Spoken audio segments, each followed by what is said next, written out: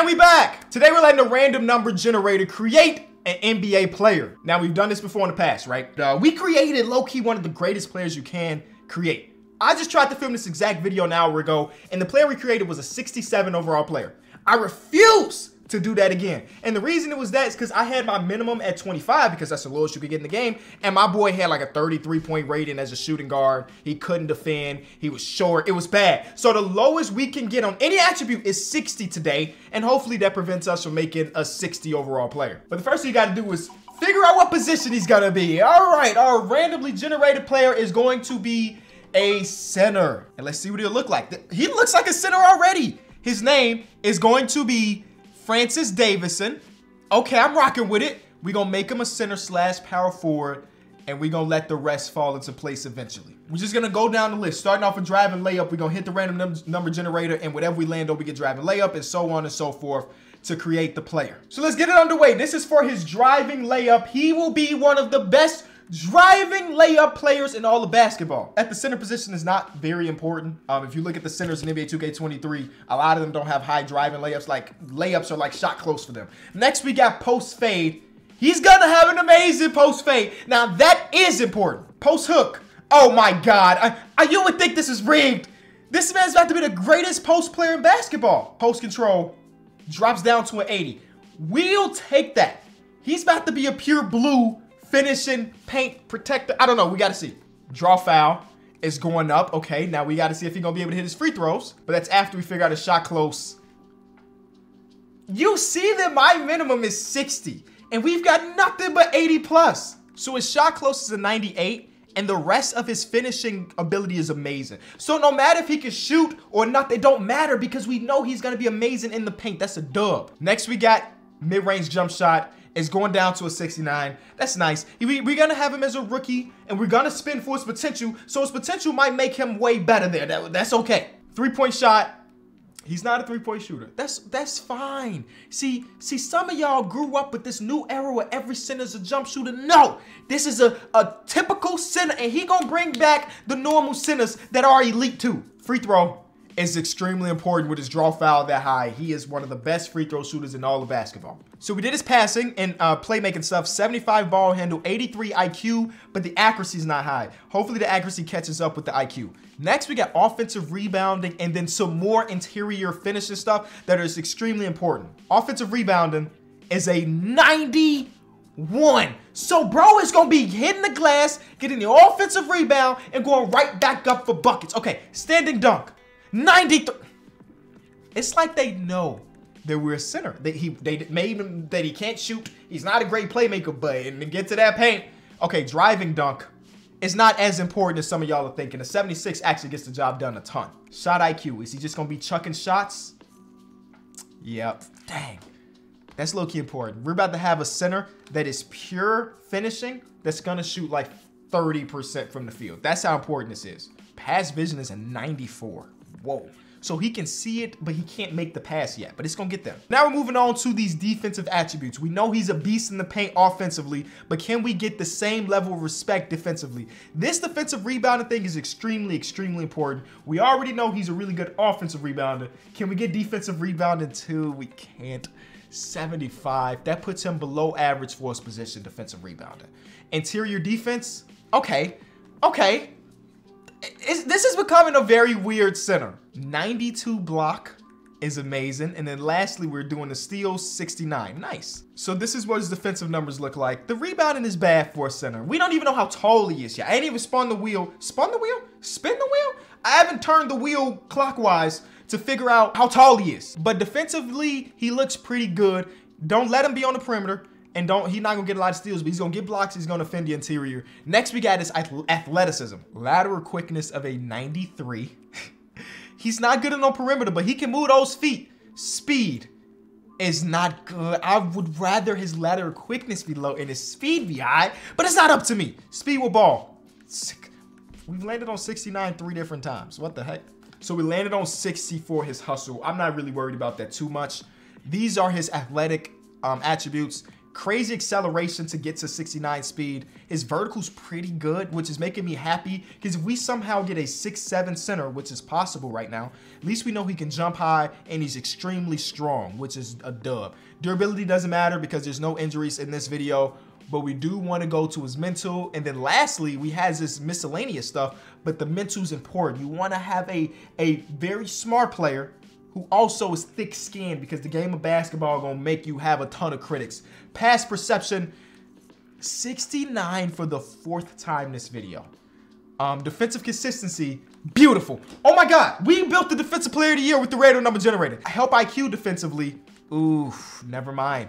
He's not gonna win defensive player of the year if he can't help as a center and then offensive consistency is a 95. So that's really, really good.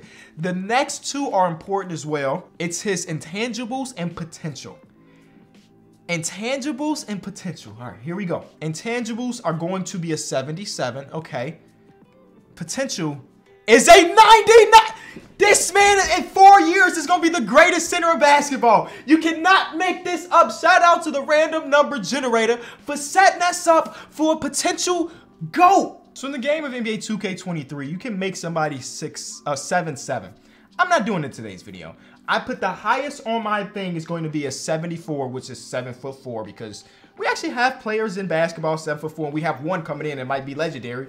And I put him as low as six seven, so we'll see what height we end up getting. He is going to be a seven four beast. Wow. So here's our player. Seven four beast from where again? I forget. Francis Davidson out of Tulane. Tulane produ produced the GOAT.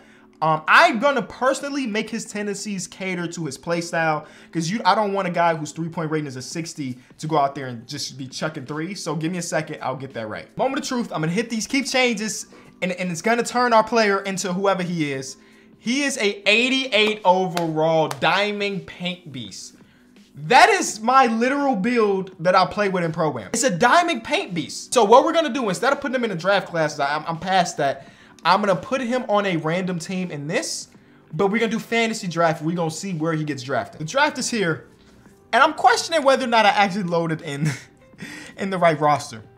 So, oh, he went 11th overall to the Milwaukee Bucks. There we go. Hold on, hold on, hold on, hold on, hold on. I know I gotta get to my pick. The league determined he was not the 11th best player in the league, but the 11th most valuable player because they thinking about growth. It's Francis, and then it's Khris Middleton and Ben Simmons. Oh my God, defensively, hey, defensively we're gonna be nice, and we also got a young team. Jalen Suggs out. I mean, you're gonna be a perennial backup, my boy, because you're not taking the spot from Davidson. But okay, the team's not good. Somehow Sekou Doumbouya, who's out of the league in real life, always gets picked up in these fantasy drafts, and he always determines to have $30 million. All right, so I don't know what this league is or this team's gonna look like. It's probably not gonna be very good. I don't want to do any of the trades for you. Y'all decide on those trades. First game of the season, first game of his NBA career, Bradley Beal gave us 40 and four block. I legit think that he's gonna win a defensive player of the year in these, I wanna say three years we given him. He's gonna win a defensive player of the year. There's no way around it. He's gonna put up godly block numbers. And then next year, he's gonna progress. He's gonna have more badges. He's gonna win a defensive player of the year. He's, oh, well, maybe not. I mean, he's averaging a block and a half a game and a steal. I don't know. We'll, we'll see. We'll see. Hopefully, in these three years, they put together a contention type team around him. But uh, that feels like it won't happen based on what I what that roster looked like right now. Let's go. Second time making the All-Star game as a and he's a rookie. I mean, you, you gotta love the grind to make the All-Star game last season without actually being in the league. That's that that's that new uh, era of NBA player. And he's him. Made an All-Star game. 20 and a half points per 11 rebounds, 5 assists, and about 2 blocks. So he's really that guy. Not only did he make it, he's a starter. He's playing with some of the best in, in ball. He made the starter list over Joel Embiid, man. Because they're both in it. Oh, actually, I can't tell you. Joel's not in East. My fault. My fault. I, I jumped the gun. I jumped the gun. I thought I was thinking about current Joel Embiid instead of whatever. Rudy Gobert is in the East, and he's coming off the bench, so he ha he's having a better season than Rudy. Vucevic making it. Oh, it's because he went back to Orlando. You know, Orlando got this little fountain that Vucevic used to drink out of, and it gave him basically superpowers while he was there. And then when he got traded to Chicago, he lost all of it. Um, Bam I can't say that. I think I'm meeting Vucevic today, like later today. Love you, Vuce. Bam Adebayo still plays for the Heat. So these are some really good centers that are in this in the um in this conference. And Francis was like, no, I'm I'm going to be him. So let's just see how you perform then in your first, I mean, I'm sorry, your second All-Star game. 10, 4, and 3. Uh, he's a center. He's a center. He's a center. He's a center. And not even like one of the cool centers. You, he's basically a boring all-star player. Basically what Rudy Gobert was. Rudy Gobert's made the all-star game a couple different times. He's a defensive player. You know what I'm saying? Uh, so he probably wasn't the most fun player to watch at the All-Star festivities. But the Bucks aren't very good, so we probably not gonna see no postseason action. James Harden is back. He averages 33 and 12 and 6. Whoa, 46% from three is crazy, James. Keep doing your thing. Two-time NBA All-Star Francis Davidson ends up winning Rookie of the Year. Um, no defensive player here. Rudy, look out. He averages about three blocks per, two and a half blocks per for Francis. I bet it's because the team defense wasn't very good. Just, oh, just, just you wait. Just, he did not make an All-NBA team either. Just you what he didn't make it all defensive team. Okay, I'm overrating his defense. That's basically what's happening. Y'all better, oh, be, oh, we made the play-in. A sub-500 team, 38 wins, made the play-in. Okay, all right. Um, so let's see how this goes. We're going against the Washington Wizards.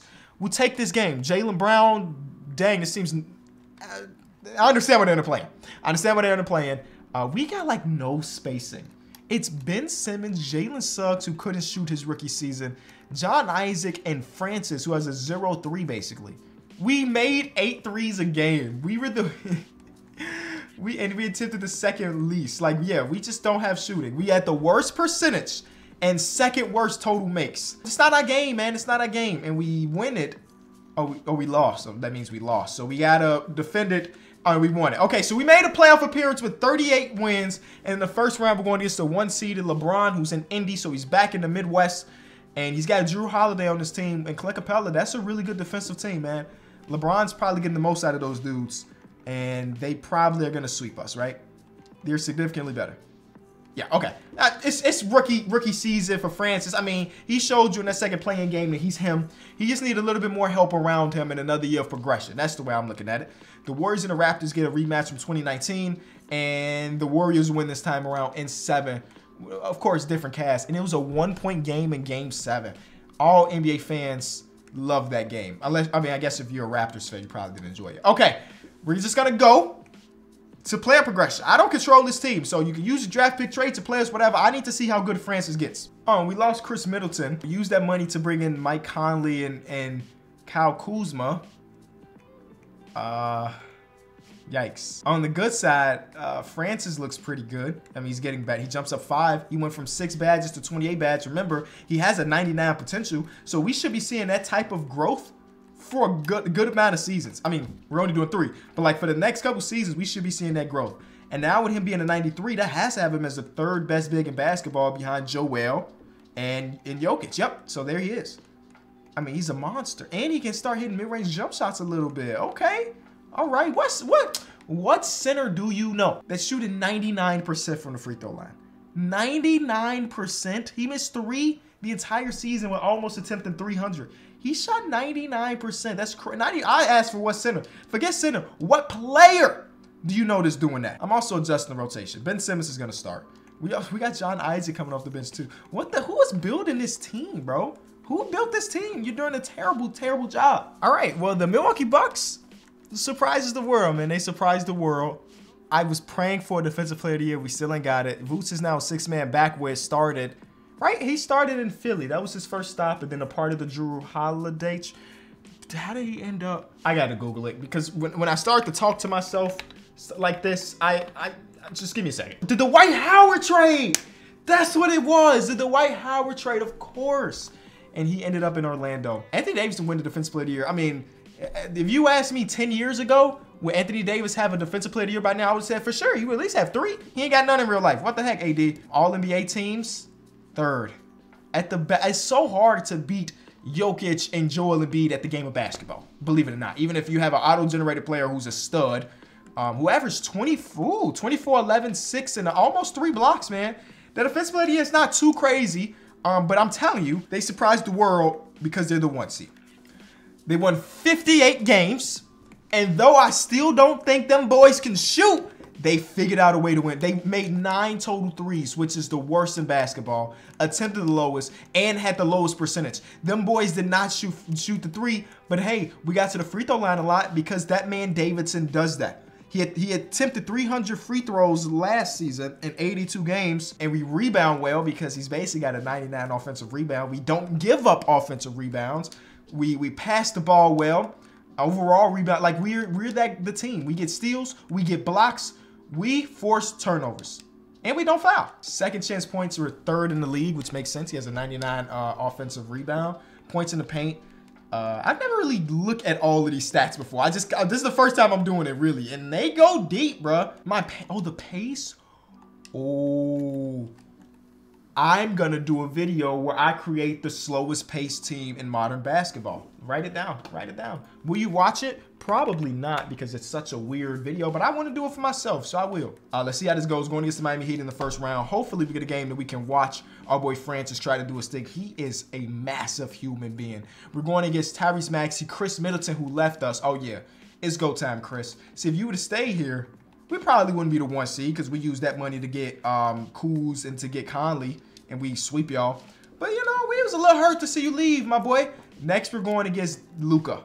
Yeah, actually, I, I want to simcast some of these games because I want to find one that's close. We got a game, ladies and gentlemen. It is a two-point game in the favor of the Brooklyn Nets with about a minute and a half to go. He is on the court and he has been guard. Hold on.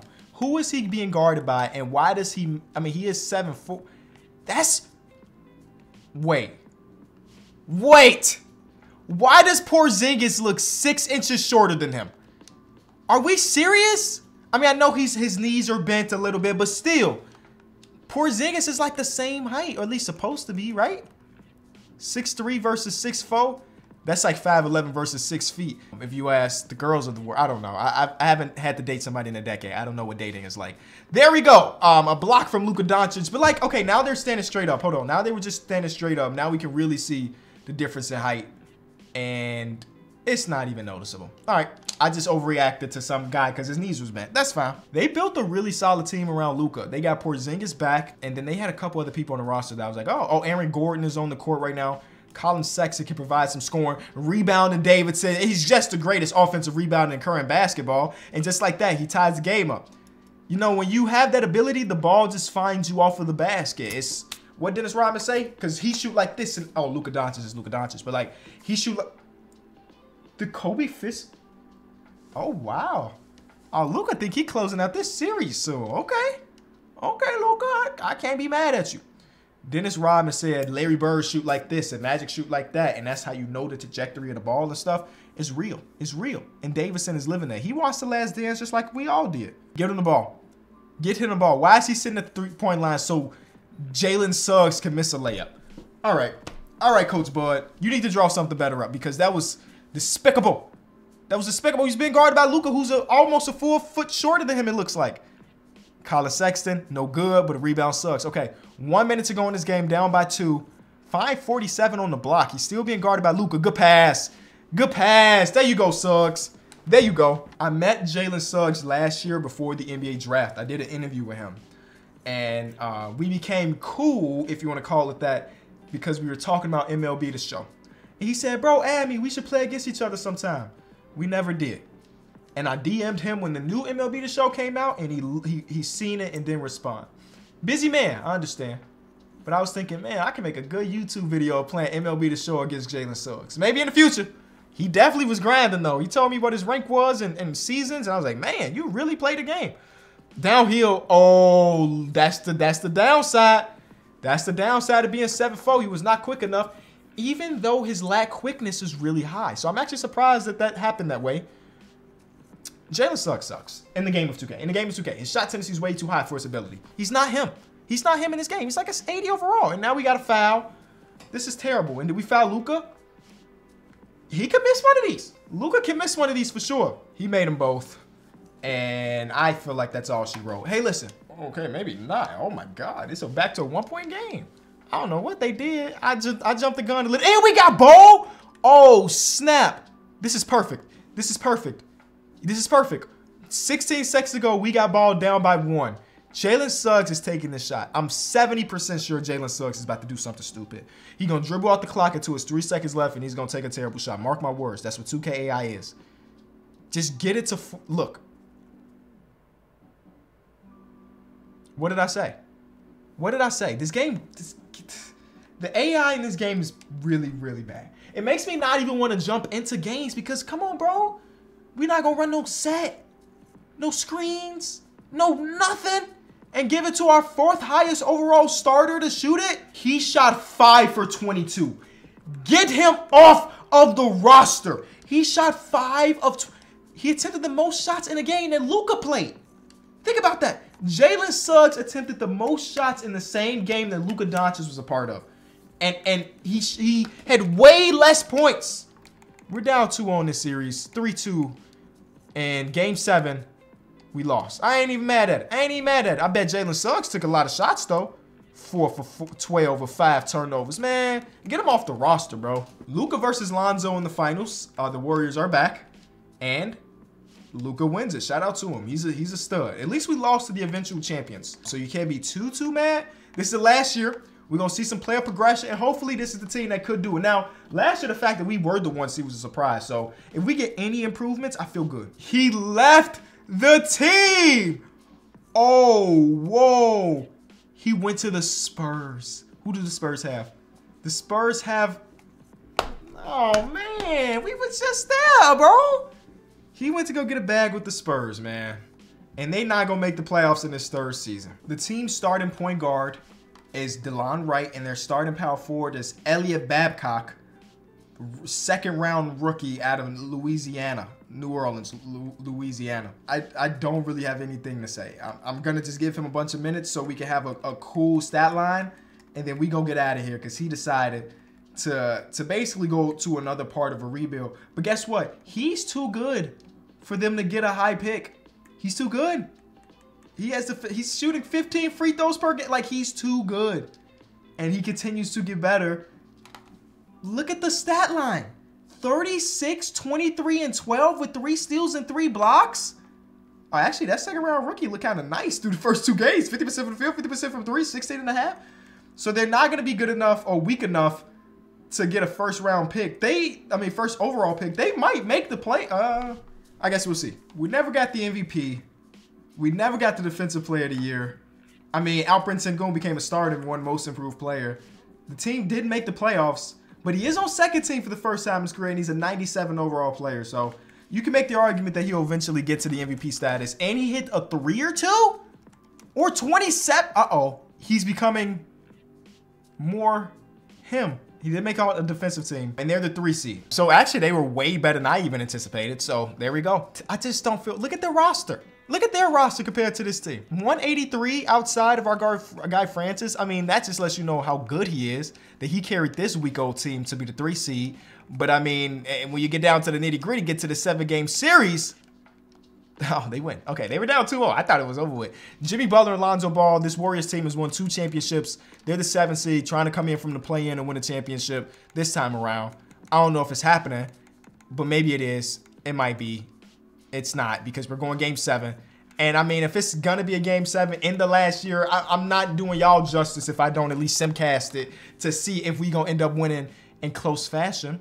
So far, it is close. Not not in our favor though. Yep. That's the end of that. Hmm.